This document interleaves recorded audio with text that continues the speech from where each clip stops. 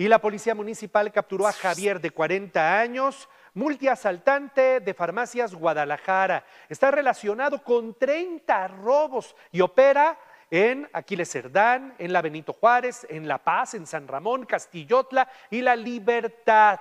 La detención se logró luego de que asaltó una farmacia Guadalajara ubicada sobre la prolongación Reforma en la colonia Aquiles Cerdán. Allí se recuperó el dinero en efectivo, un celular, cajetillas de cigarro, medicamentos, productos de higiene personal y un arma tipo escuadra.